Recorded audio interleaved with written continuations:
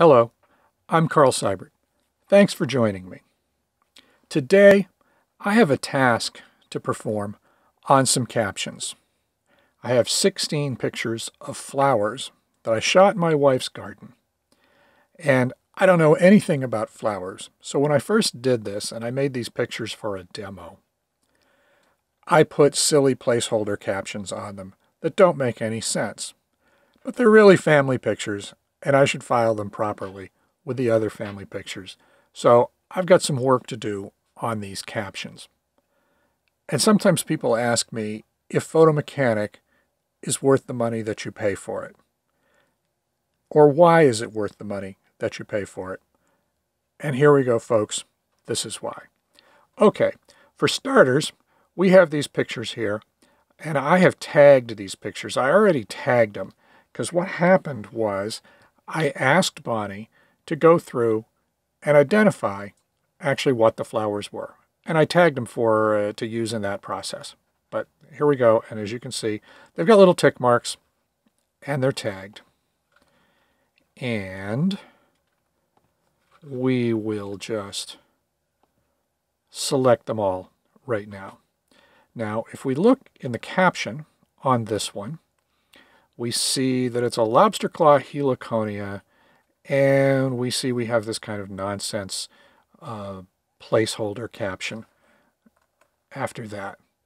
So what I want to do is I want to keep the identification of the flower, and I want to replace all this nonsense with something real.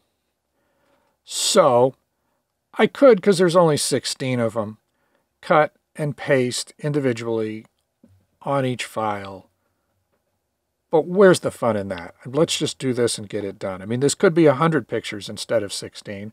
And besides which, it's Photo Mechanic. If I wasn't talking to you, I would already be done already. And as it is, this won't be a very long video. So I've selected my 16 pictures of the flowers. The first thing I'm going to do is I am going to go to export. And I'm going to pull up my metadata export template. And I'm going to make a backup of all 16 of these captions because just because you're paranoid doesn't mean that they're not out to get you. So, whoops, there we go we will save out a backup just in case. And here it is. Just in case, you know, we're going to be really paranoid. We have to make sure we actually got our backup. But this is what uh, exported captions look like in Photo Mechanic, depending on your caption. I put a rule between them, and I chose file name field, the file type field, the caption, the byline, the credit, and the create date to put in my export.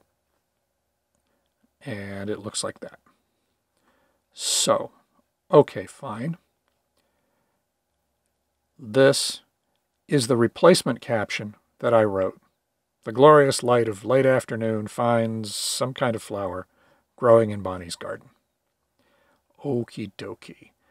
Since I'm here, I'm going to select the first part of this, the glorious light of late afternoon, and a space beyond it, and I'll copy it to my clipboard. I will go back to Photo Mechanic.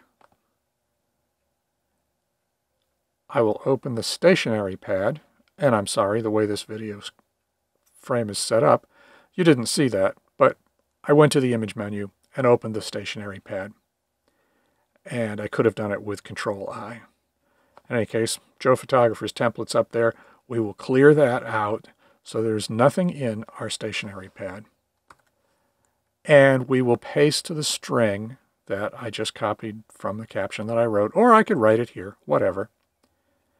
And I'm going to prepend that to the caption on all 16 of these pictures. Apply stationery. And here we go. Okay, so now we have prepended this caption. The glorious light of late afternoon finds a lobster claw heliconia doing some stuff. Okay, fine. What about the rest of this? Well, let's just copy from here to here. This is the trashy old placeholder caption that we want to get rid of. Close that. Now we'll go back here. We will go to Find and Replace. Photo Mechanic has a Find and Replace feature. We will paste in what we want to get rid of. Go back to my text file and copy. Whoops. We will copy, including a space before the word growing the new text that's going to go back in our caption. And we will make that the replace text. And we want to do this in the caption. We want to do it to selected pictures. And we should be good to go.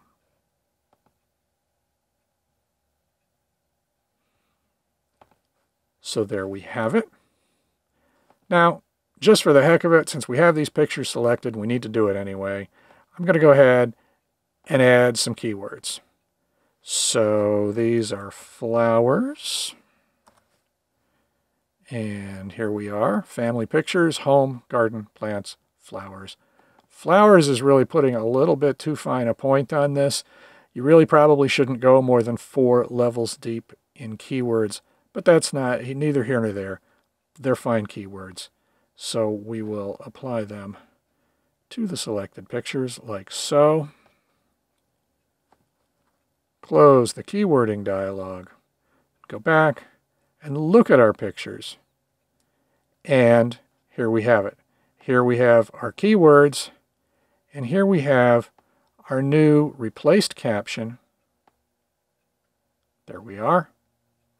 With the identification still in it.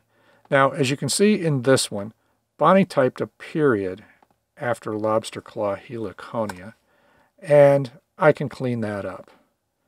And since there are only 16 of these, I'll do that. I'll go through them one by one, and I'll make sure that subject and verb agrees, and we have this period that I probably have to take out of every one of these. And a couple of these, the articles aren't going to work. This one is a bromeliad growing in the garden. But if it was something that began with a vowel, I would need to change A to an. But no biggie. I can cruise through here. Do I want to save my changes? Yes. I can cruise through and I can look at these things.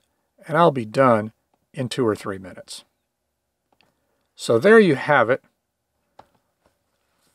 There's a reason why Photo Mechanic is worth the money. I would have had to have done that by copying and pasting one picture at a time in just about any other program. The keywording thing would have taken longer than a couple of keystrokes in just about any program. And this thing does the job. It does it really fast and is basically worth every red cent. So until next time, mind your metadata. I'm Carl Seibert. Reach out to me in the comments below the YouTube video or on my blog at carlseibert.com forward slash metadata. Thanks.